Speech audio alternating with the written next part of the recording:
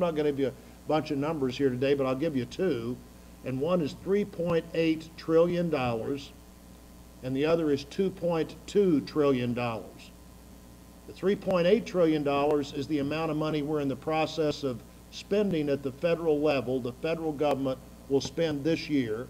The $2.2 trillion is the amount of money the federal government expects to collect this year. Now, those numbers don't work.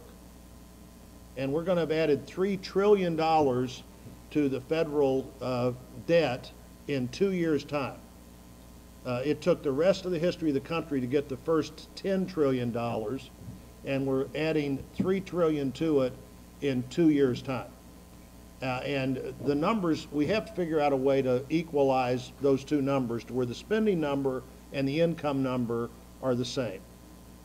And if that doesn't happen, we're going to be in as much trouble as every other country that's got those things out of balance is in, like Greece and Ireland and Portugal and Japan. Uh, and uh, we still have time to do something about this, but we don't have a lot of time to do something about it.